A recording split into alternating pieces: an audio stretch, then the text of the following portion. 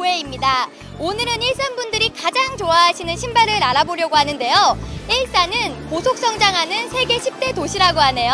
그래서인지 역시 패션 센스가 남다른 분들이 많이 보이는 것 같습니다. 그렇다면 이분들은 어떤 신발을 가장 좋아하는지 지금부터 알아보도록 하겠습니다. 따라오세요.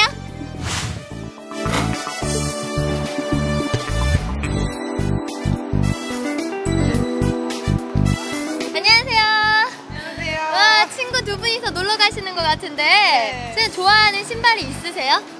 구두 편해서 멋지를 많이 신어요. 친구분은 어떤 네. 신발 좋아하세요? 저는 구두보다 좀 편한 운동화 같은 걸 좋아해가지고요. 네. 뉴발란스나 아니면 운동할 때 조던 같은 거 즐겨 신어요. 아, 어 지금 보니까 뉴발란스 신고 왔네요. 네. 어 뉴발란스의 좋은 점 뭐가 있을까요? 어, 일단 오래 신을 수 있고 되게 장거리 걸어도 편한 것 같아요. 신발 쇼핑은 ABC 마트. 이렇게 깔끔한 스타일엔 어떤 신발이 잘 어울릴까요? 어, 저는 컨버스 좋아해요. 그럼 컨버스의 좋은 점이 뭐가 있을까요? 어, 일단 싸고요. 어, 이제 깔창 까기도 좋고. 어, 중요하죠. 어떤 신발을 가장 좋아하시나요? 아, 아 발이 없다고요? 안녕하세요.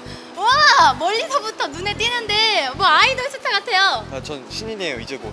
이제고 아, 저도 원래 이랬어요. 근데 여자친구 때문에 이제 못해요. 여자친구 싫어해가지고. 불쌍해요.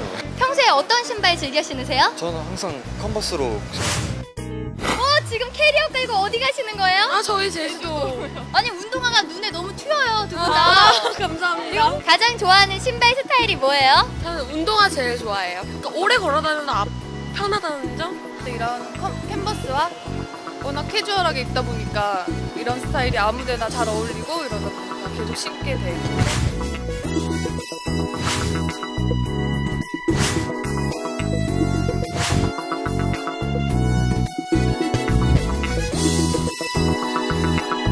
지금까지 일산 웨스턴돔에서 사람들이 가장 좋아하는 신발 스타일을 알아봤는데요. 1위는 바로 캔버스화였네요. 지금까지 ABC마트 신나는 VJ 보혜였습니다.